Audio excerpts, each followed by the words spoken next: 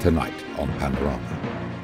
We delve into the world of the Catholic Church and the people's ongoing search for answers.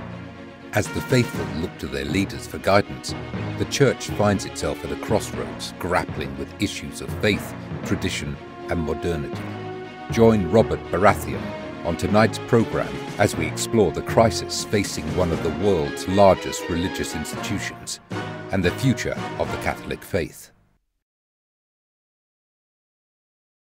Catholicism's new home is the Vatican City State, which was officially established as a sovereign entity in 1929 through the Lateran Treaty, signed by the Holy See and the Kingdom of Italy. Prior to that, the area now known as Vatican City served as the papal residence and administrative center of the Church for centuries. It was back in the day when you can get away with something like that. Dark. How about Dark. that journalist who Dark. infiltrated the Vatican? You remember that? What? with roots dating back to the time of Christ. The Church has played a significant role in shaping the course of history and influencing the beliefs of billions of people around the globe.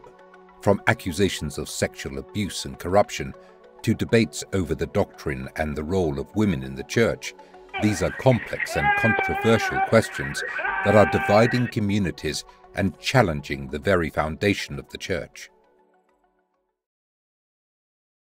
Hi, I'm Robert Baratheon from the BBC, and today we are doing a panorama special documentary on the Vatican and paedophilia in the Catholic Church.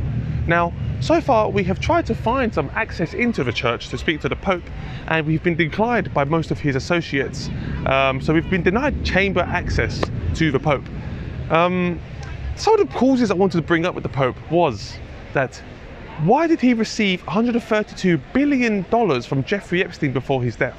Now, the answer is there is an ancient passageway between two buildings here from the Vatican to another building which they used to use to import children from Italy into the Vatican. However, now they are trying to create a new passageway, an Elon Musk style hyperloop, straight from right here in the Vatican all the way to Epstein Island. There's been other kind of paedophilic news going around within the past year or so in the Vatican. Uh, we've had such reports as Bill Gates has officially bought a hotel just not far from the Vatican. Now you ask yourself, why would a multi-billionaire need another hotel? Is access to children. The Catholic Church is known for storing children away in underground cellars and distributing them to the rich and the wealthy. But today we're going to inquire to why this is still happening in 2022. I'm Robert Baratheon, and this is a BBC Panorama special. Hello, sir. So, how um, uh, how do we see the Pope here? The Pope? eh? Yes, I'm with the BBC. I've got an interview ready for the Pope today. You? With the BBC, yes. I don't know. So eh? I want to see the Pope. The Pope is uh, only the Sunday, yeah? He's speaking the window for the So, Missa. so I can't see the Pope today. No. Is this like a denial of the allegations? Like, so I have to come back Sunday to see the Pope? Sunday, yeah. Okay. Uh, no, you, you have a reporter, Yes. but you take the permis, uh, permission. You, you, Yeah, I emailed in and I said I wanted to see the Pope. Isn't, ah, okay, okay. I have. As our camera crew tried to document the events unfolding, a Vatican agent attempted to impede our progress. However, our team remained steadfast in the pursuit of truth, determined to shed light on this troubling situation. Such interference only serves to underscore the importance of our work in uncovering the facts and exposing the truth. I haven't received any response, but I've been told that I'm going to see the Pope today. Um, we just wanted to discuss some things, but okay, so it had to be Sunday to see. Uh, yeah, yeah, yeah. Only in the Sunday, you look here. For the Missa, eh, you look. eh? Yes. You speak there, huh? Okay. and uh, you walk around the, the square.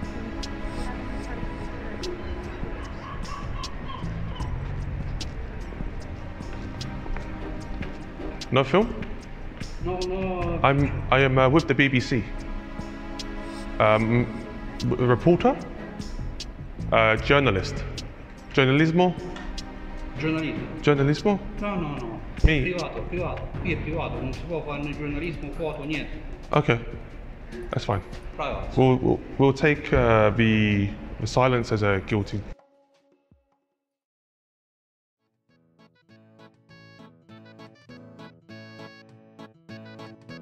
In 1300s China, the new one-child policy came into place. So one way to combat the two-child deficit was to actually put children on slave ships just to bring over to the West for the Vatican and all the other priests in the Western world and the European Catholic Church to use as sex slaves. So the Chinese were a big part in the sex slave industry in the 1300s. Um, they were pretty closely knit with the Pope. Um, it's something which you don't really hear about, you don't really expect, but these are some of the vessels uh, used to transport the children over during that kind of era. Um, it's said to believe that the Han Dynasty were actually the first to um, export children as slaves. But yeah, this is how we have it. In the 1500s, the British were in partnership with the Italian Federati and they were creating some ships specifically designed for bringing children from Africa into the Vatican. Now, this is one of the original models. This is called the Marquisio 4.8, which is one of the original boats that they used to bring the children in.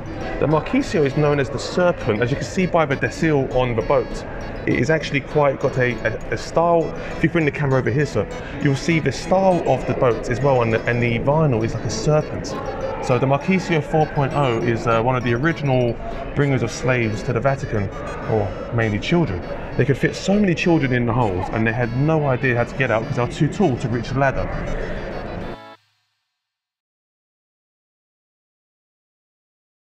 See, it's actually quite false in North America currently. Most Italian men circumcise their penis, where in the ancient Roman days, penises were not actually circumcised, they were just kind of left to be.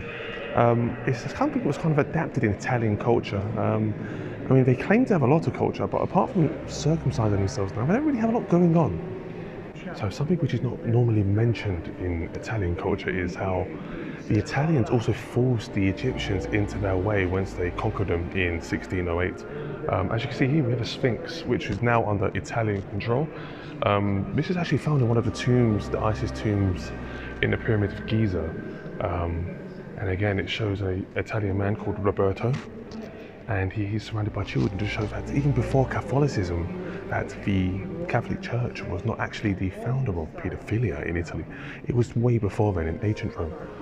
So if you come forward here, we can see more Egyptian history has been kind of indulged into it. We have a prosciutto's crocodile here, and um, the Italian man surrounded by children, which is something I find we need to get to the bottom to. Why is this happening here? Why is, why is paedophilia allowed to be embraced in Italy? I feel like this is more than just the Vatican. I feel like this is a cultural thing amongst Italians, and we need to address this. I really just don't get these blokes. Like, how does the leaf just stay there? It's a fucking lie, man.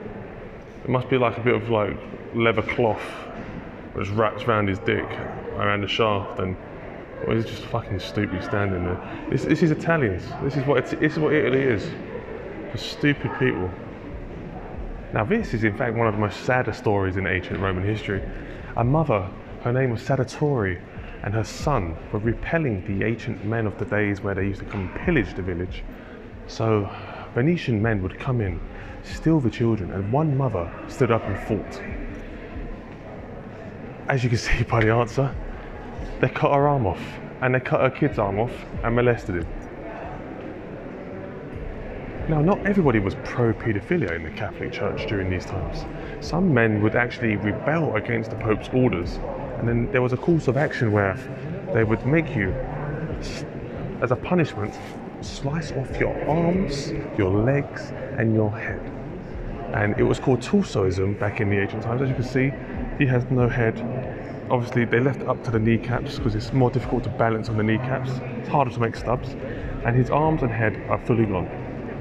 I mean, he was dead once they took his head, but like, it was. This is just what the punishment was for rebelling against paedophilia in ancient times. This is the 16th chapel. The predecessor, the 15th chapel, was uh, not as big as this one. Quite a lot of uh, naked children on the walls again, but you know, we'll look past that. It's kind of artistic. Yeah, lads, this is a Banksy special made by Banksy.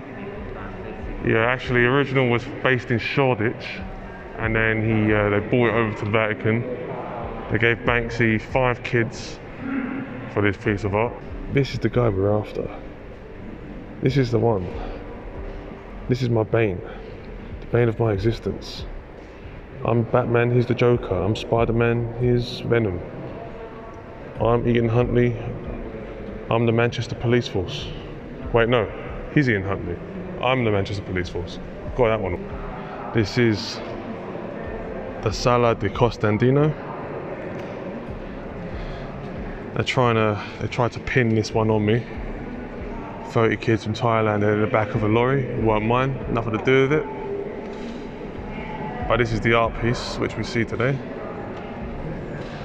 If you see right at the top there on the ceiling, you can see uh, an example of somebody who's been torsoed. They've literally just been torsoed. So this is what we call casual torsoism.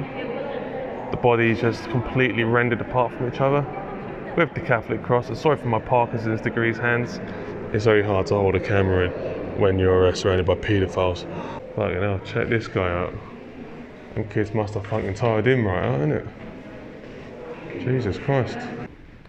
I'm here with a famous piece, Adolfo Witt. It looks a little bit little like little Nas, however, it's actually Hitler's dad. See by the face. Someone get some black marker. Edit that in, and it'd be lovely.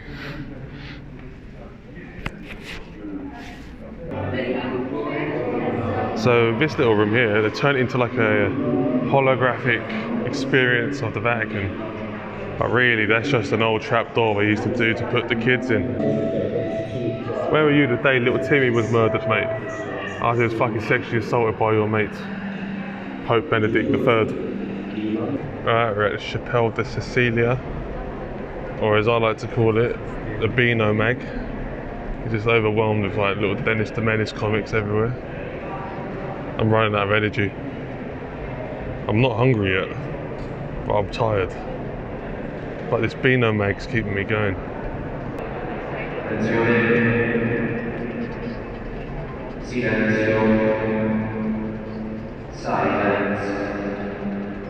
Don't tell me what to do.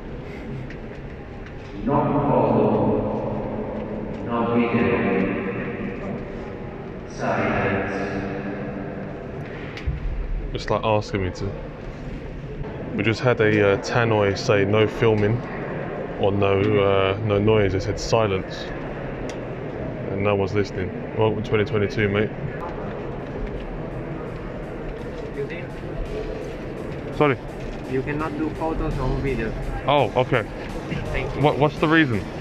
Because it's a holy place. Oh, holy place. Okay, it's like Mecca, isn't it?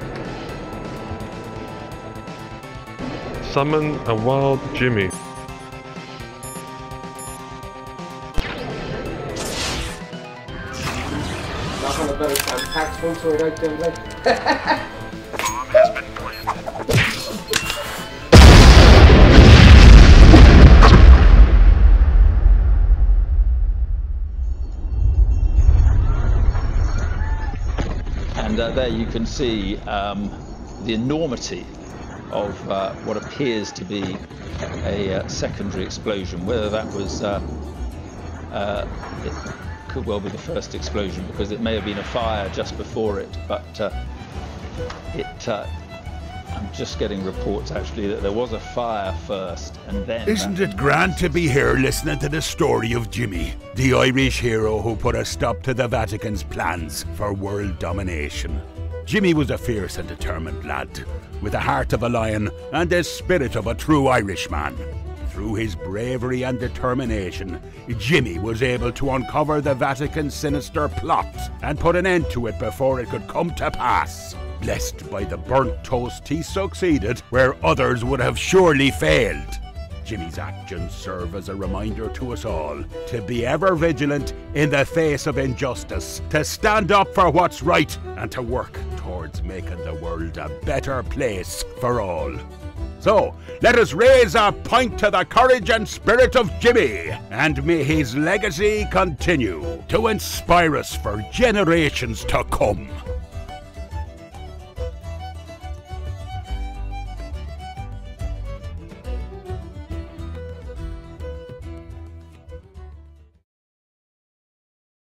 Robert Baratheon's ships arrive in port tomorrow. Diplomacy has failed us. and our men cannot hold the gates. Our men shall hold the gates, they have no chance. We shall fight to the bitter end tomorrow.